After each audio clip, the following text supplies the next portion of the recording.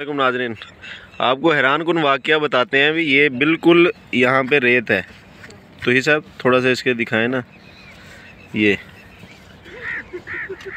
सफ़ेद रेत है, बिल्कुल सफ़ेद रेत है। और आप घास देख लें, माशाल्लाह कितना प्यारा तैयार हुआ हुआ है। इसका ट्रिक आपको बताएँगे, पूरी वीडियो देखिए, चैनल को सब्सक्राइब कीजिए, वीडियो को शेयर कीजिए, लाइक कीजिए, अगर पसंद आए तो।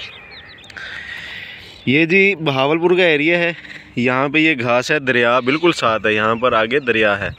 तो इस दरिया सतलुज दरिया सतलुज लगता है साथ। और जो ये घास तैयार हुआ हुआ है, इसको ट्रिक जो तैयार करने का है, वो ये है, जो शहर का गंदा पानी होता है, जो गटर का पानी निकलता है, वो पानी इस फ़सल को लगता है। दोस्तों, ये पानी है जो शहर से आता है खाले की सूरत में बन के बाहर दरिया वाली साइड पे। तो जहाँ ये पानी गुजरता है, वहाँ से लोग ये सिस्टम लगा के पीटर को ट्यूबवेल अटैच करके उसके बाद ये पानी, घास को, फ़सल को, जो भी काश करते हैं, उसको लगाते हैं।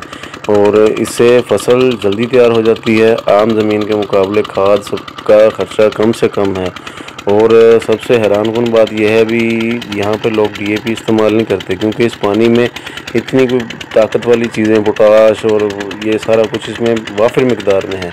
तो कोई भी चीज़ ज़ाया नहीं जाती। अब ये शहर का जो पानी है, ये भी किसानों के काम आ रहा है। ऐसे न्यू ट्रिक देखने के लिए हमारे चैनल को सब्सक्राइब कर लीजिए। Thank you so much video देखने के लिए। शुक्रिया। अल्लाह हाफिज़।